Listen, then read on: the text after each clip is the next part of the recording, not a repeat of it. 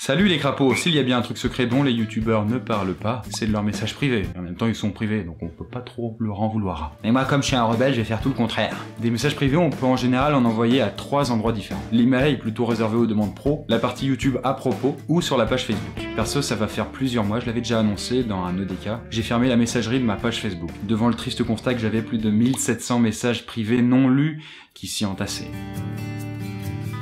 Mais toujours est-il, depuis que ma chaîne YouTube existe, j'ai dû lire et répondre à quelques milliers de messages, au bas mot, privés bien sûr. Et dans l'eau, on retient surtout deux types de messages. Le premier, ce sont les messages un petit peu émouvants où les gens nous racontent un petit peu leur vie et qui nous expliquent tout ce qu'ils trouvaient bien chez nous. Bon, voilà, ça brosse l'ego dans le bon sens, hein, et puis ça fait toujours du bien quand on a des coups de blues, quoi. Et sinon, la deuxième partie, c'est les messages un peu plus what the fuck, un peu bizarre, quoi, voire complètement tordus. Et dans cette récré, on va voir ensemble cette deuxième catégorie. Et puis ensuite, on regardera vos réponses à mon précédent sondage sur quelle mort choisiriez-vous si vous deviez mourir et en quel animal préfériez-vous, préférieriez-vous, préférieriez-vous, préféreriez-vous et en quel animal préféreriez-vous vous réincarner? C'est ça, on y est. Et on y va.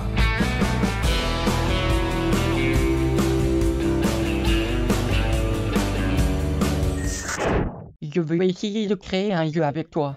Easy. C'est rigolo quand même cette naïveté, c'est comme si un jeu se serait préparé une paille là. C'est un peu plus compliqué dans les faits. Qui s'occupe d'ouvrir les moules? Je sais pas utiliser YouTube, donc je sais pas si tu peux me répondre.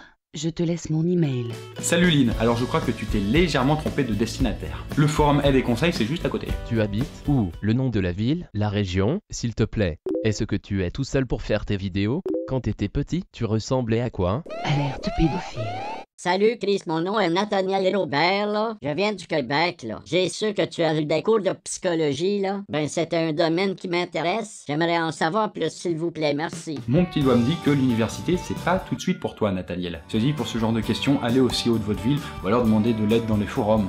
Les gens seront heureux de vous répondre. T'es trop beau. Ça te dérange de te marier avec une fille de 13 ans? Ah bah non, moi ça me dérange absolument pas. Faudra juste se montrer très convaincant devant le juge. T'habites, pénis, mesure combien?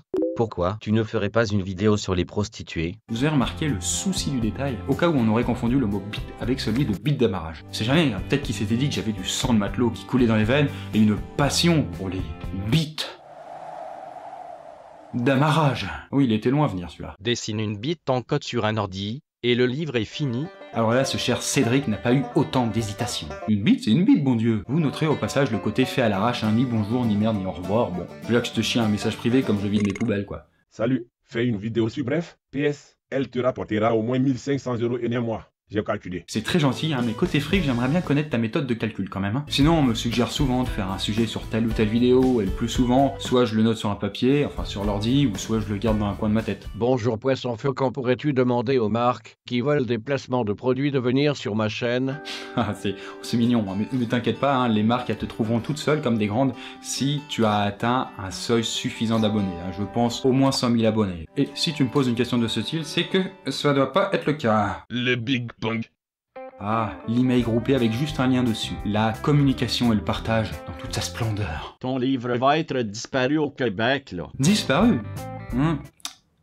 Ah non, putain, dispo, wow Eh, bonjour, enchanté, hein. Ouais, salut, je suis content de te voir aussi. Oui, pour le Québec, y a pas de souci sinon. Salut. Salut Léa, ça va? Et je m'appelle Robin, et j'ai le même souci que toi, j'ai du mal à avaler. Dis-moi, tu t'es fait opérer, ou pas? Ah, nous y voilà. Toi aussi, t'as du mal à avaler. Alors, euh, pour vous resituer le contexte, hein, on parle bien de bonnes grosses bites. D'amarrage, hein. Non, c'est par rapport à ma précédente récré où je racontais des trucs bizarres sur moi et où je disais que j'avais du mal à avaler les morceaux de viande. Et non, je me suis pas fait opérer, c'est juste psychologique. Et de la même façon, j'ai du mal à avaler les comprimés qu'on me fout au fond de la gorge, quoi. Ah. Alors oui, j'ai une chemise rose, hein, et j'aime bien les gays, mais je ne suis pas gay. Même si parfois on peut avoir des doutes, non, voilà, je ne le suis pas. Je vais te sodomiser à coups de pelle. J'aime tes vidéos. Nique ton chat. Continue. T'es un gros FDP. Je t'aime beaucoup malgré tout. Nique ta maison. Niquer sa maison, est-ce que c'est possible? Déjà que niquer sa mère, ça demande quand même une bonne dose de sang-froid. Enfin bon, ces messages privés décalés, c'est toujours amusant, mais dans les faits, j'ai fait le calcul et ça ne représente que 2% des messages privés que je reçois. Alors peut-être que dans vos rêves les plus intimes, euh, vous avez toujours rêvé de savoir la teneur des messages privés qu'un youtubeur recevait. Non, oui, oui, non, non, oui, bon, ok. Eh bien, que ce soit oui ou non, c'est à présent réalité, puisque j'ai classé les 100 derniers messages privés que vous m'avez envoyés sur ma boîte de messagerie YouTube. 66% des messages contiennent au moins un compliment, du style j'aime bien ce que tu fais, c'est cool, ça change, je suis fan, etc. 36% de fois dans un message, on me demande mon avis ou mon aide, comme par exemple me demander mon avis sur tel sujet, aller voir une chaîne YouTube et dire ce que j'en pense, s'il te plaît. 31% contiennent des suggestions, où on me conseille par exemple de parler de tel sujet pour ma prochaine vidéo, d'aller lire un bouquin ou autre machin chose, ou de regarder telle vidéo très intéressante, y va quoi. 14% ont un témoignage, lorsque la personne va un peu me raconter sa vie, me parler de ses soucis ou ses moments joyeux. En général, ces messages sont très émouvants, mais aussi très longs. Ils sont gros, ils sont gros, hein, putain. 13% vont me faire les grandes louanges. Ce sont les messages qui font le plus plaisir, hein, ça c'est pas difficile, puisque ce sont des compliments, des compliments et encore des compliments, hein, voilà, n'est-ce pas? 7% des messages, au contraire, contiennent une critique. Mais attention, pas des critiques du style « tu pues la merde, charogne ». Non, ce sont pratiquement toujours des critiques constructives. En tout cas que la personne a pris le temps de développer. Et naturellement, hein, comme il se doit, hein, c'est normal, hein, je leur dis de bien aller se faire en cul.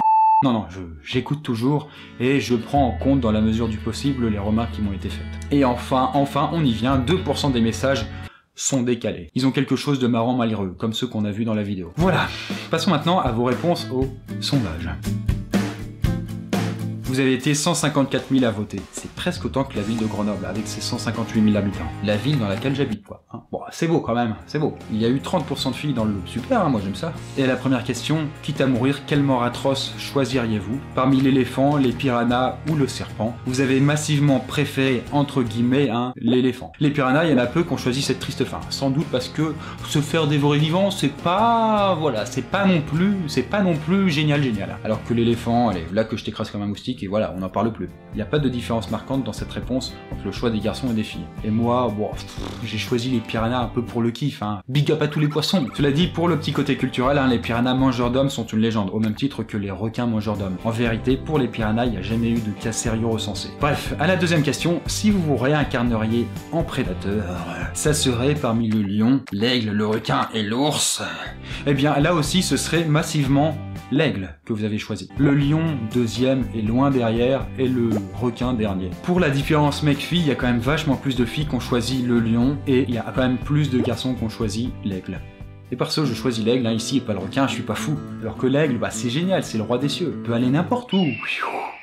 Donc voilà pour ce sondage et cette vidéo. Le prochain vient juste de sortir, vous pouvez y répondre dans la description. Je vous abandonne ici les crapauds et si au passage vous voulez m'envoyer des messages privés, hein, je tâcherai toujours de les lire et d'y répondre dans la mesure du possible. Mais allez-y mollo quand même, hein, ça, demande du temps. hein. Ciao, bye bye.